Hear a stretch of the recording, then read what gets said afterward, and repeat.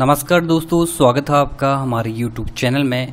तो UK triple C की वो वैकेंसी जिसका आप सभी इंतज़ार कर रहे थे ट्वेल्थ पास वैकेंसी क्लर्क की कनिष्ठ सहायक डाटा एंट्री ऑपरेटर और अन्य पदों पर ये वैकेंसी यूके ट्रिपल एस ने जारी कर दी है। आज चार दस दो हज़ार चौबीस को इसका विज्ञापन प्रकाशित हुआ है। अगर बात करें इसके ऑनलाइन आवेदन प्रारंभ की तिथि की तो ग्यारह दस 2024 से आप इसका फॉर्म फिल कर सकते हैं। लास्ट डेट है एक ग्यारह दो हज़ार चौबीस। इस बीच में आपको फॉर्म फिल कर लेना है। इसके बाद देखिए आपको संशोधन का मौका मिलेगा। पाँच से आठ नवंबर के बीच में आप इसमें संशोधन कर सकते हैं और परीक्षा का जो टेंटेटिव डेट यहाँ पर दी गई है 19 एक 2025 19 जनवरी 2025 को इसका एग्ज़ाम होगा। तो जानते हैं इस वीडियो में इस नोटिफिकेशन के बारे में कौन कौन फॉर्म को फिल कर सकता है और क्या क्या इसमें एलिजिबिलिटी क्राइटेरिया रखा गया है। तो देखिए टोटल वैकेंसीज की बात करें तो सात सौ इक्यावन टोटल वैकेंसीज हैं। विभिन्न पदों पर ये वैकेंसी आई है, जिसमें सबसे ज़्यादा पद हैं कनिष्ठ सहायक के चार सौ पैंसठ पद। इसके बाद देखिए मेट की जो हैं, दो पद हैं। डाटा एंट्री ऑपरेटर के तीन पद हैं, साथ ही साथ कार्य पर्यवेक्षक के छः तो अब बात करते हैं पदों के बारे में। डेटा एंट्री ऑपरेटर की बात करूँ, तीन पद हैं यहाँ पर। हॉरिजेंटल और वर्टिकल यहाँ पर वैकेंसीज दी गई हैं। लेवल फाइव की वैकेंसी है 18 से बयालीस वर्ष इसमें उम्र सीमा है। इसके बाद इस फॉर्म को फिल करने के लिए आपको इंटरमीडिएट पास होना चाहिए। अगर आप इंटरमीडिएट पास हैं और आपके पास कंप्यूटर हिंदी टाइपिंग आपका 4000 की डिप्रेशन प्रति घंटा है और एम एस ऑफ़िस का आपको ज्ञान है तो इस फॉर्म को आप फिल कर सकते हैं।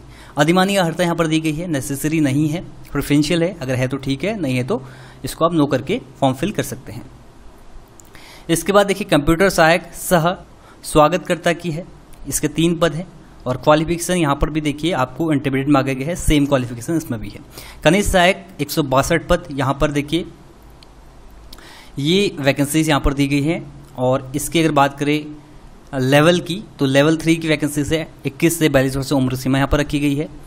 टेन प्लस टू यानी कि इंटरमीडिएट पास हैं, आप इस फॉर्म को फिल कर सकते हैं। साथ ही साथ आपको हिंदी टाइपिंग आनी चाहिए 25 वर्ड पर मिनट इसमें भी देखिए अधिमानी आहरता है नेसेसरी नहीं है, अगर है तो ठीक है कंप्यूटर का आपको ज्ञान होना चाहिए। टोरिटोरियल आर्मी में दो ईयर का एक्सपीरियंस एनसीसी बी सर्टिफिकेट इसके बाद देखिए बयालीस पद हैं। अगर बात करें पद, नाम और विभाग की तो पॉलिटेक्निक संस्थान और कनिष्ठ सहायक निर्देशालय प्राविधिक शिक्षा विभाग। यहाँ पर ये वैकेंसीज हैं।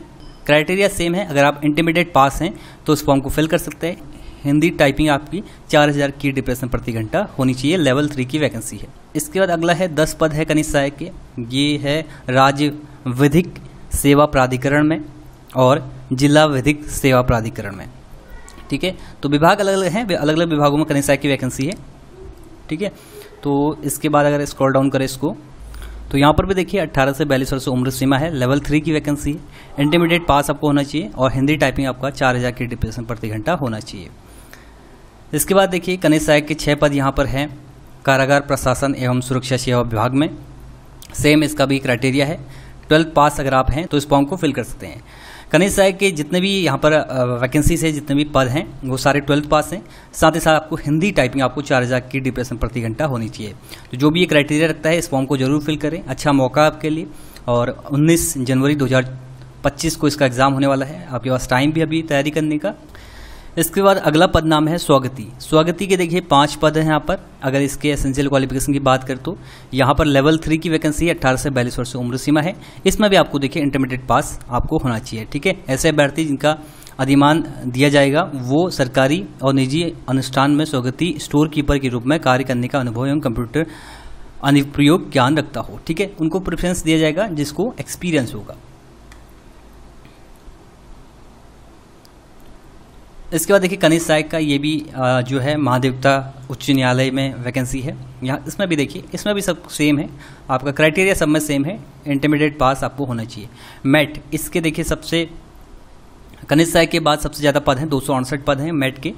तो मेट की बात करें तो यहाँ पर देखिए लेवल टू की वैकेंसी है मेरिट की और 18 से बयालीस वर्ष उम्र सीमा है।